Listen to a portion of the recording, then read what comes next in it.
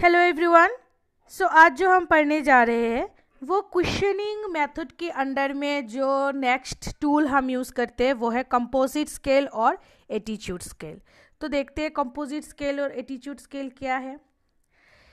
ये एक तरह का स्केल है रेटिंग स्केल है. ये ये जो कंपोजिट स्केल है एक तरह का रेटिंग स्केल है जो हम यूज़ करते हैं किसी कंसेप्ट के लिए हमारा एटीट्यूड क्या है परसेप्शन किया है, या तो फीलिंग किया है, या तो सेल्फ कॉन्सेप्ट किया है, वो सारी चीज़ एसेस करने के लिए हम लोग कंपोजिट स्केल और इसको दूसरा नाम हम एटीट्यूड स्केल भी बोलते हैं, इसको हम यूज़ कर सकते हैं। एटीट्यूड मतलब सब किसी कॉन्सेप्ट के प्रति जैसे मान लो मान लो कि सपोज़ एक कंसेप्ट है डाउरी सिस्टम तो डाउरी सिस्टम की प्रति हमारा एटीट्यूड कैसा है? पॉजिटिव है या नेगेटिव है? ठीक है? परसेप्शन यानी कि किसी भी कंसेप्ट के लिए जैसे कि परसेप्शन की लॉकडाउन जो है वो देने से क्या कोरोना का स्प्रेडिंग प्रिवेंट हो सकता है? ये एक कॉन्सेप्ट है। तो इसके प्रति हमारा परसेप्शन क्या है? ठीक है? ये सारा चीज़ मेशर करने के लिए एसेस करने के लिए हम लोग लाइक हम लोग कंपोजिट स्केल यूज़ कर सकते हैं। तो कंपोजिट स्केल का डेफिनेशन अगर हम देखेंगे कि कंपोजिट स्केल क्या है तो हम ऐसे बोल सकते हैं कि composite scales are socio psychological measurement directed towards quantifying the qualitative attribute such as feelings attitude self concept perception beliefs etcetera इसका मतलब ये है कि कंपोजिट जो स्केल है वो एक सोशियो साइकोलॉजिक मेज़रमेंट स्केल है, जो हमारा क्वालिटी ट्रिब्यूट्स है, जैसे कि हमारा फीलिंग्स हमारा एटीट्यूड्स हमारा परसेप्शन हमारा बिलीव वो सारा क्वालिटेटिव एटीट्यूड है, ठीक है? तो उसको अगर हम क्वांटिफाइंग करना चाहते हैं तो हम कंपोजिट स्केल यूज़ करते हैं, ठीक है? तो मेनली इस चैप्टर में हम पढ़ेंगे जो मेनली कॉमनली जो कंपोजिट स्केल्स यूज़ होता है आ, हमारा नर्सिंग केयर का इश्यूज़ रिलेटेड मेनली जो सोशियो साइकोलॉजिक मेज़रमेंट के लिए जो मेनली कंपोजिट स्केल यूज़ होता है। उन लोगों के में बारे में पढ़ेंगे। तो यहाँ पे मेनली जो नर्सिंग केयर इश्यूज़ के लिए यूज़ होता है, वो मेनली दो यूज़ होता है। एक है लाइकट स्केल दूसरा है सिमांटिक डिफ्रेंशिएट स्केल तो वन बाय वन देखते हैं। लाइकट स्केल तो लाइकट स्केल क्या है? लाइकट स्केल क्या है? उससे पहले हम थोड़ा सा उसका इंट्रोडक्शन जान लेते हैं कि लाइकट स्केल है क्या। लाइकट स्केल जो है वो साइकोलॉजिस्ट रेंसिस लाइकर्ट के नाम से उसका नाम लाइकर्ट स्केल किया हुआ है, ठीक है? तो उसने, उन्होंने ये स्केल 1932 में डेवलप किया था। तो ये जो लाइकर्ट स्केल है, ये most commonly used scaling technique में से एक टेक्निक है।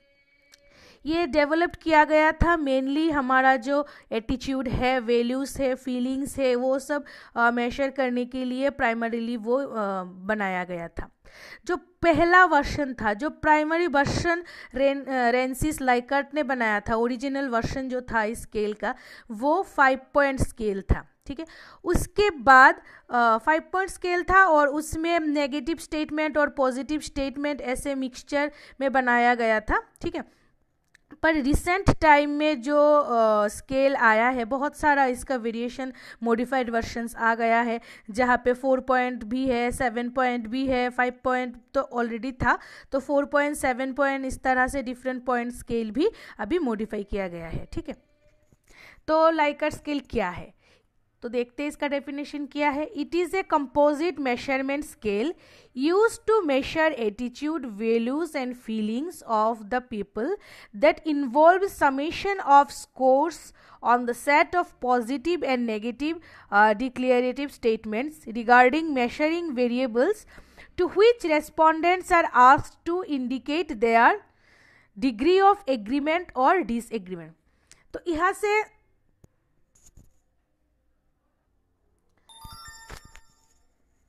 तो यहाँ पे ये चीज़ क्लियरली मेंशन है कि यहाँ पे जो चीज़ हम मेशर करेंगे वो हमारा एटीट्यूड वैल्यूज़ फीलिंग्स वो सारा चीज़ होगा और यहाँ पे जो सेंटेंस जो स्टेटमेंट्स होगा वो पॉजिटिव स्टेटमेंट भी होगा नेगेटिव स्टेटमेंट भी होगा, ठीक है? तो ये पॉजिटिव और नेगेटिव स्टेटमेंट को हम स्कोर करेंगे, फिर उन सारे स्कोर को समेशन करके जो रिज़ल्ट आएगा, उसी के हिसाब से हम लोग स्कोर करेंगे। तो यहाँ पे हम जब स्कोर करेंगे बेस्ड ऑन एक स्टेटमेंट का, हम किस स्टेटमेंट को हम कितना एग्री करते हैं या डिसएग्री करते हैं, इसके हिसाब से हम उसको स्कोर करेंगे। एक एग्ज़ाम्पल ले लेते हैं। ये एक फाइव पॉइंट लाइकर स्केल का एग्ज़ाम्पल है।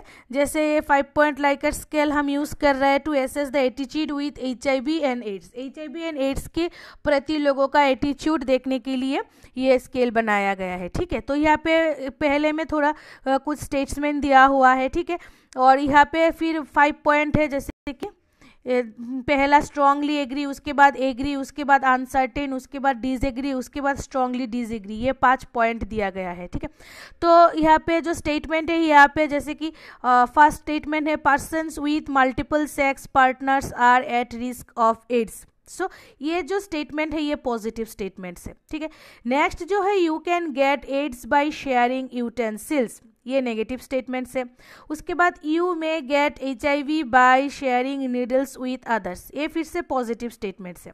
नेक्स्ट है only gay man can get AIDS ये भी नेगेटिव स्टेटमेंट्स है। तो यहाँ पे दिखाई देता है कि ऑल्टरनेटिवली पॉजिटिव और नेगेटिव पॉजिटिव और नेगेटिव इस तरह से स्टेटमेंट बनाया गया है। तो आ, हम लोग अगर इसके लिए एटीट्यूड एसेस करेंगे तो हम लोगों को बोलेंगे कि, आ, कि इसे जो स्टेटमेंट है उसके हिसाब से यहाँ पे एग्री करने के लिए। जैसे कि person with multiple sex partners are at risk of AIDS तो स्टेटमेंट्स को हम एग्री कर रहा है कि नहीं? हाँ स्टेटमेंट्स को हम स्ट्रांगली एग्री कर रहे हैं तो यहाँ पे टिक देना है ठीक है? तो उसके बाद जैसे कि नेक्स्ट सेंटेंस है you can get AIDS by sharing utensils तो यूटेंसिल शेयर करने से एड स्प्रेड नहीं होता है। तो इस स्टेटमेंट को हम स्ट्रांगली डिज एग्री कर रहे हैं। तो हम यहाँ पे टिक कर रहे हैं। नेक्स्ट जैसे कि you may get H I V by sharing needles with others yes ये हम अगर हम एच आई वी पेशेंट के एच आई वी के लिए हम अगर अपना नीडल्स शेयर करते हैं तो हम एच हमारे अंदर स्प्रेड हो सकते हैं। तो इस स्टेटमेंट को मैं स्ट्रांगली एग्री करती हूँ। Next only gay man can get AIDS नहीं, ये स्टेटमेंट को मैं स्ट्रांगली डिसएग्री करती हूँ। तो इस तरह से हम लोग इसका टिक करके मार्क कर सकते हैं। अपने एटीट्यूड के वाइज हम लोग सेंटेंस दिया होता है और यहाँ पे पाँच एग्री के agree to disagree five point दिया होता है। अपने अपना हिसाब से हमको इसको टिक करना होता है। ठीक है? तो नेक्स्ट हम देखते हैं कि लाइकर स्केल क्यों यूज़ किया जाता है? What are all the users of Likert scale तो मेनली हम लाइकर स्केल यूज़ करते हैं जैसे कि हमारा attitudes values feelings opinions emotions ये सारा जो चीज़ है ये सारा चीज़ को मेजर uh, करने के लिए हम लाइकर स्केल यूज़ करते हैं। दूसरा ये है कि ये सारा जो वैल्यूज़ ये सारा जो कंसेप्ट uh, मैंने बताया जैसे कि वैल्यूज़ एटीट्यूड्स फीलिंग्स ओपिनियन ये सारा क्वाली क्वालिटेटिव एटीट्यूड्स है क्वालिटेटिव एट्रीब्यूट एट्रीब्यूट्स है हमारे।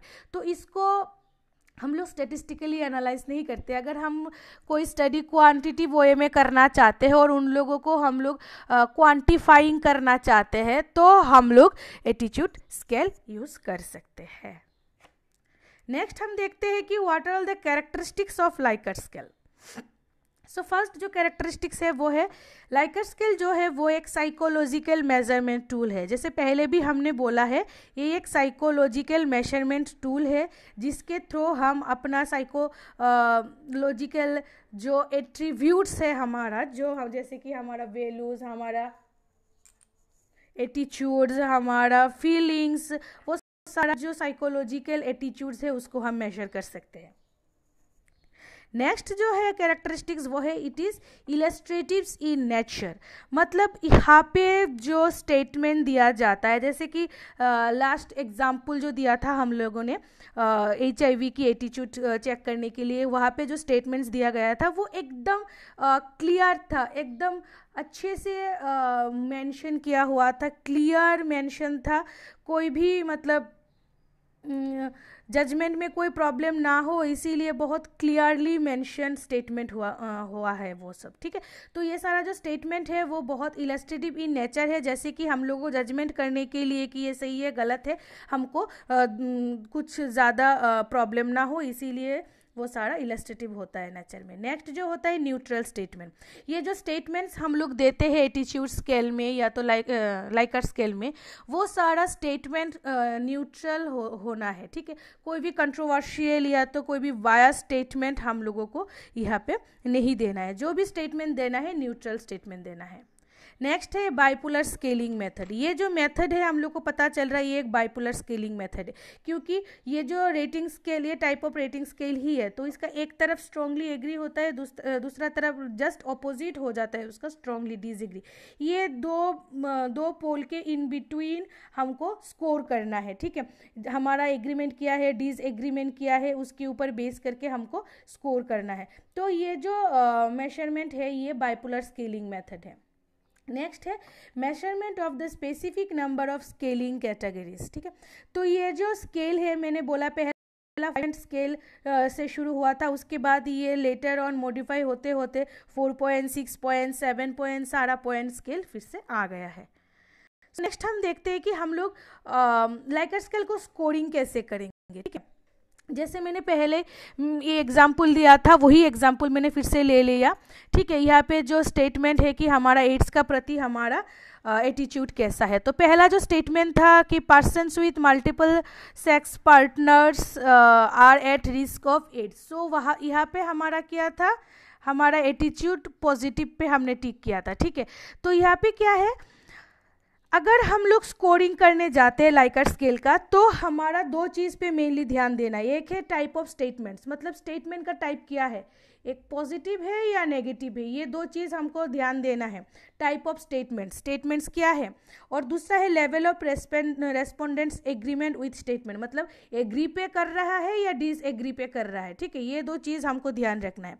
तो अगर पॉजिटिव स्टेटमेंट हो रहा है तो हमको एग्री पे स्ट्रांगली जो एग्री होगा, वहाँ पे हमको हायर स्कोर देना है, ठीक है? जैसे कि ये पॉजिटिव स्टेटमेंट है तो हम यहाँ पे स्ट्रांगली एग्री पे किया था तो यहाँ पे हमको फाइव देना है हाईएस्ट स्टेटमेंट ठीक है? हाईएस्ट स्कोर देना है। और अगर नेगेटिव स्टेटमेंट है तो हमको स्ट्रांगली डीज एग्री पे हाईएस्ट स्कोर देना है। उसके बाद उससे कम कम करके आ जाता है, ठीक है? तो ये चीज़ हमेशा याद रखना है। जब स्कोरिंग करेंगे, हमको दो चीज़ याद रखना है। एक टाइप ऑफ़ स्टेटमेंट्स क्या है? मतलब ये पॉजिटिव स्टेटमेंट है या नेगेटिव स्टेटमेंट है? और दूसरा है level of agreement strongly agree पे कर रहा है या स्ट्रांगली डिज एग्री पे कर रहा है? ये दो चीज़ याद रखना है। अगर पॉजिटिव स्टेटमेंट है तो हमको स्ट्रांगली एग्री पे हमारा हाई स्कोर डालना है। और अगर नेगेटिव स्टेटमेंट हो रहा है तो स्ट्रांगली डिज एग्री पे हमारा हाईएस्ट स्कोर डालना है। नेक्स्ट है advantages so what may be the advantages of Likert scale so so, ये जो लाइकर स्केल है आपको समझ में आ रहा है ये बहुत इजी है रिलेटिवली इजी है। जस्ट अपना ओपिनियन के हिसाब से अपना एटीट्यूड के हिसाब से जो स्टेटमेंट आता है उसमें टिक लगाना है ठीक है? तो बहुत इजी है इसको इसको मतलब एडमिनिस्टर करना और कंस्ट्रक्ट करना भी बहुत इजी है इसका ठीक है? और ये जो स्केल है बहुत रिलायबल भी है और वैलिड भी टूल है जो जिसके थ्रू हम अपना साइकोलॉजिकल मेज़रमेंट एसेस कर सकते हैं, ठीक है? इजी टू एडमिनिस्टर भी है जो रेस्पोंडेंट बहुत अच्छे से, आसानी से टिक कर सकते हैं, ठीक है? ये बहुत लेस टाइम कंज्यूमिंग स्केल है, क्योंकि इसको कंस्ट्रक्ट करने में भी इतना टाइम नहीं लगता है और टिक करने में भी इतना टाइम नहीं लगता है, ठीक है? So this are all the advantages अभी डिसएडवांटेजेस क्या है लाइकर स्केल का? तो ऑफ़ कोर्स डिसएडवांटेजेस भी कुछ कुछ है। यहाँ पे क्या हुआ है? जो स्टेटमेंट से वो पहले से प्लान्ड है, ठीक है? तो ऐसा कभी कभी लगता है, जो चीज़ अगर हम लोग एक्स्ट्रा कुछ चीज़ यहाँ पे बोलना है, बोलने जा रहे हैं, अगर रेस्पोंडेंट के दिमाग में या तो मन में कुछ एक्स्ट्रा कुछ चीज़ है तो वो बोल नहीं पाते। फुल्ली हम लोग डीपली जाके वो जो नॉलेज है, वो हम यहाँ पे नहीं ले सकते। दूसरा चीज़ है, ऐसा रेस्पोंडेंट को कभी कभी लगता है कि, क्योंकि ये प्री प्लान होता है और स्टेटमेंट पहले से प्रिपेयर होता है तो रेस्पोंडेंट को कभी कभी ऐसा लगता है कि ज़बरदस्ती फोर्स किया जा रहा है कि इसी स्टेटमेंट के बीच से ही उसको टीक मार्क लगाना है, ठीक है? तो कभी कभी ये भी होता है कि ये जो रेस्पोंडेंट है वो डाटा में थोड़ा मिसलीडिंग हो जाता है, ठीक है? रेस्पोंडेंट्स को, ठीक है? तो इस तरह का कुछ कुछ डिसएडवांटेजेस लाइकर स्केल में दिखाई देता है। समझ में आ गया? नेक्स्ट हम देखते हैं सिमेंटिक डिफ्रेंशिएट स्केल तो सिमांटिक डिफ्रेंशिएट स्केल क्या है। ये भी हमारा एक एटीट्यूड स्केल है, ठीक है? तो ये पहले किसने शुरू किया था? पहले किसने डेवलप किया था? 1967 में ऑसगुड सूसी एंड टेन टेनन बाम ने पहला ये उन लोगों का एक बुक था द मेज़रमेंट ऑफ़ मीनिंग उसमें पहले इंट्रोड्यूस किया था। तो मेनली जो पर्पस था ये स्केल का, वो था मेज़रमेंट करना अपना एटीट्यूड का लिए, ठीक है? एटीट्यूड मेज़रमेंट के लिए वो पहले बनाया गया था। ये भी एक बहुत ज़्यादा नावे वाइडली यूज्ड एटीट्यूड स्केल है, ठीक है? तो इसमें क्या होता है? इसमें पीपल का जो एटीट्यूड उसका जो मतलब कंसेप्ट है कोई भी चीज़ के प्रति वो मेशर किया जाता है, ठीक है? तो यहाँ पे क्या होता है दो डिफरेंट एडजेक्टिव का पेयर्स रहता है डिफरेंट डिफरेंट एडजेक्टिव का पेयर्स रहता है, सच को सच जैसे कि beneficial harmful just opposite opposite adjective का पेयर रहता है गुड बैड ठीक है? देन वाइज फुलिश ब्यूटीफुल अगली इस तरह का जस्ट ऑपोजिट ऑपोजिट दो प्यार रहता है एडजेक्टिव का ठीक है? तो ये भी एक बाइपोलर स्केल है। ये दोनों के बीच में जो डिफरेंट पेयर ऑफ़ एडजेक्टिव है इन दोनों के बीच में uh, जो रेस्पोंडेंट है उसको टिक uh, करना होता है ठीक है? तो इस तरह से इसके थ्रू भी हम लोग क्या कर सकते हैं? स्ट्रक्चर uh, एक चीज़ बना सकते हैं जहाँ से हम लोग क्वालिफाइड क्वालिटेटिव जो एटीट्यूड है हम, हमारा, उसको हम क्वांटिफाइंग कर सकते तो हम देखते हैं कि सिमेंटिक डिफ्रेंशिएट स्केल का डेफिनेशन क्या है। It is a type of rating scale design to measure the designed to measure the connotative meaning of objects, events and concepts.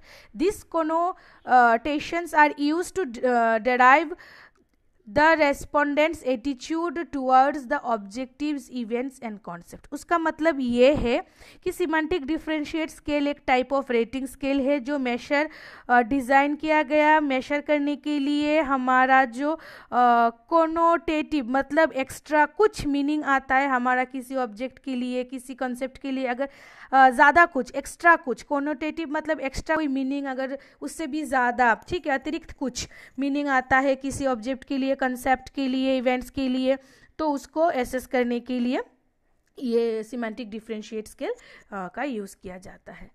Next है usage of semantic differentiate scale तो semantic differentiate scale mainly हम क्यों use करते हैं? Mainly हम patient satisfactory सर्वे याद रखना mainly हम किसी भी प्रकार का, कोई भी प्रकार का सर्वे के लिए, ठीक है?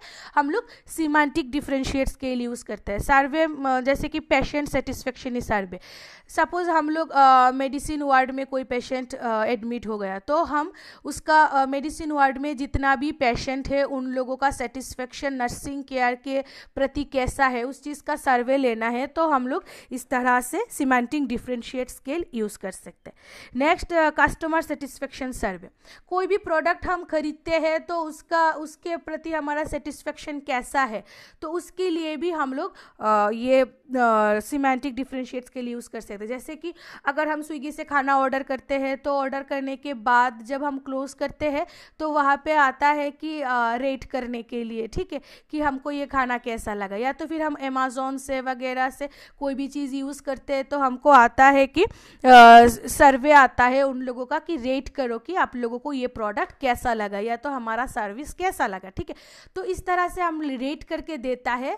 दे, देने के बाद क्या होता है उन लोग सर्वे करते हैं उस सब रेटिंग से। तो इस तरह की रेटिंग के लिए कस्टमर सेटिस्फेक्शन सर्वे के लिए भी हम यूज़ कर सकते हैं। नेक्स्ट एम्प्लॉय सर्वे एम्प्लॉय के सर्वे एम्प्लॉय का जो सर्वे उसके लिए यूज़ कर सकते हैं। मार्केटिंग सर्वे के लिए ऑपरेशनल रिसर्च के लिए पर्सनैलिटी मेज़रमेंट के लिए यूज़ कर सकते हैं। और क्लिनिकल साइकोलॉजी में भी हम लोग ये स्केल यूज़ कर सकते हैं। नेक्स्ट हम देखते हैं हम लोग कैसे सिमांटिक डिफ्रेंशिएट स्केल को डिज़ाइन कर सकते हैं ठीक है? तो इसके ये पहले बोला ये एक बाइपोलर मेज़रमेंट स्केल है। यहाँ पे दो पेयर ऑफ़ एडजेक्टिव का यूज़ होता है ठीक है?